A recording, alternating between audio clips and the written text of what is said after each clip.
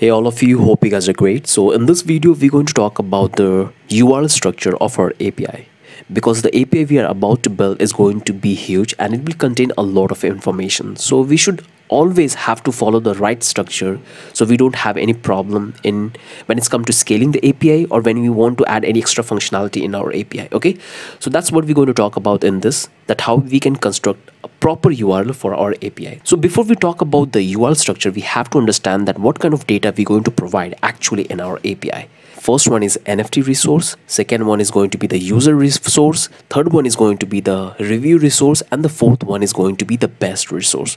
So these are the four resources we're going to provide in our api so to give you a better idea that how we're going to construct the url and what you should do and what you should not do when you want to build the url for your api and what I want to prove by making this dedicated video. So let me show you what I mean by that. So this is our main domain on which our API is hosted and this is the subdomain.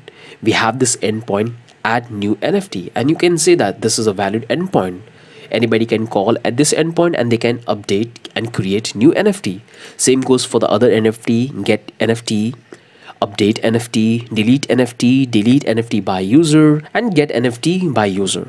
But here I have said bad. Why should not follow this structure for your endpoints in your API? Because all these resources you can see add new NFT, get new NFT, update, delete. That's all coming from here, from this NFT single resource. So why you should build different endpoints when the resource is coming from the same place? There is no problem taking this approach to create the endpoint for your API. But when it's come to scaling the, your API, this is not the way you have to do. Okay, so just imagine right now we have five resources in this NFTs. But what if we want to add multiple, 10 more or 20 more or 100 more? On that scenario, it's become unmanageable. Okay, so we're going to follow the proper structure. And that same goes for the user as well same goes for the reviews and the last one is the best. But here the endpoint i have constructed these all data is coming from the same nft resources. But we have different functionality in each of this data. We need to find out the top nfts most like nft high price 10 so that's endpoint is okay because here you are specifying that what you want. Okay so in in case of this alias router we call it alias okay? In this case of alias router you can create the endpoint like this. So now the question is what should be the idle structure for constructing the url for the api so here we have the solution. So this is our endpoint the primary endpoint and here this is how we're going to construct our api so you can see we have one resource for nft okay? So this is the domain and this is the resource where we have all the data about the nfts all the data.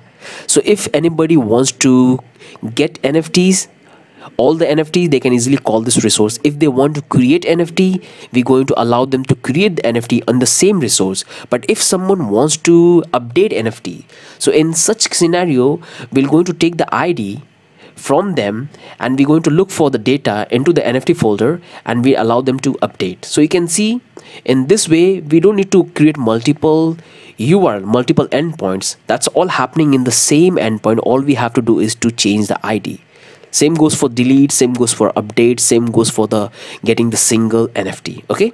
So all the resource is located in this particular endpoint and from there we're going to pass the id and get individually all the data. And that's the approach we're going to follow in this api because one resource will have one url and we have to manipulate on the base of the id and same goes for the user okay? Same goes for the user. All information about the user is stored in one endpoint and we have to pass the id to get it.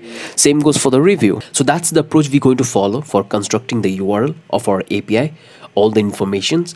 If you have still any confusion do leave in your comment. You have to understand this that why we have planned to structure our apis endpoint our resources in such a way okay?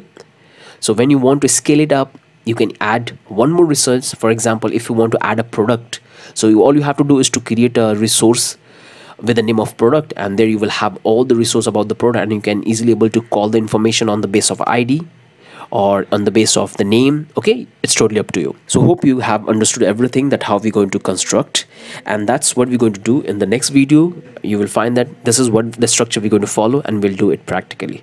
So that's the end of this video. See you in the next video. Have a wonderful day